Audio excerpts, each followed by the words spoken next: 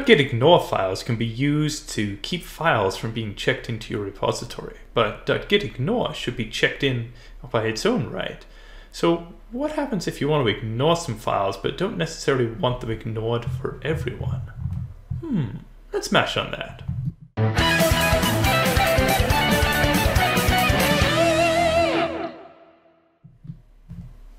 Hello, everyone, and welcome to another episode of the ASP.NET Monsters. I'm Dave Paquette, and we're here today with Simon Timms, who's going to show us how we can git ignore things, but have that apply only to us and not globally to the whole team. Mm-hmm.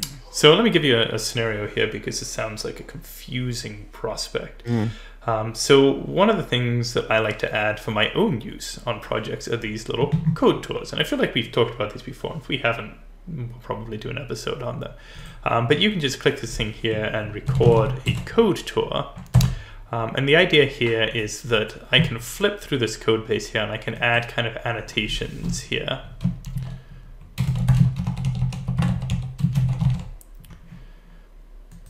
Uh, and then once I've added these, then I can kind of have this thing which is like documentation that sits to the side.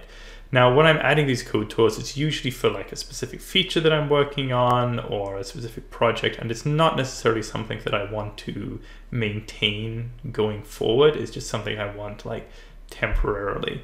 Um, so I don't want to check them in for everyone, uh, but at the same time, I don't want to necessarily ignore them by just putting them in the git ignore file so that nobody else can check those files in.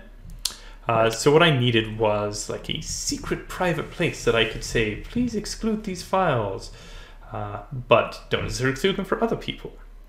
So as it turns out, there is a place for doing that. So if you take a look in the terminal here, uh, my .git folder doesn't seem to be showing up over here. I think it's ignored by default.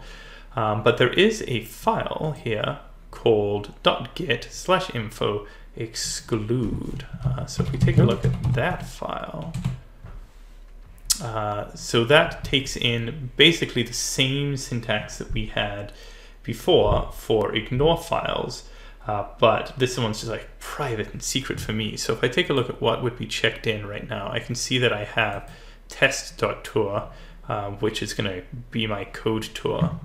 Uh, but I would like to exclude this, so I can just add it here as like a star.tour, uh, save this file, and it's fallen off the list of things that are going to be checked in over here on the left-hand side. Uh, so this isn't something that I would use particularly frequently, uh, but it is a kind of nice feature to have uh, the other option is it, if you have a file that's like already tracked that you want to ignore, um, you can make some changes for Git on that. And we have another video that we've done on that previously that I will post in the link below. But yeah, this is just a quick and easy way to ignore files privately. And this exclude file it just remains on my disk. It doesn't get checked into the repository. Yeah, well, that was easy. Sure was. Cool. All right, well, thanks everybody for joining us on this quick episode of the ASP.NET Monsters. Remember to like, comment, and share, and we'll see you all next time.